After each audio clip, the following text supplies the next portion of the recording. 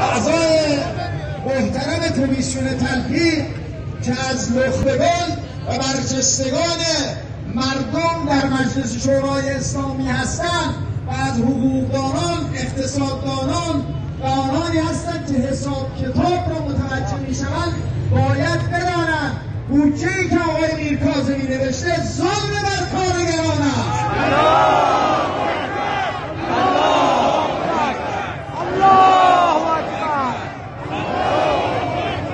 ای که آقای میرکاظمی نوشته که آمده است یک ثابت متغیر را حذف کرده است. یک ردیفی رو که در طی دوران قبل از انقلاب در زمان رژیم شاهنشاهی و مجلس سکولار ملی ثابت بوده است.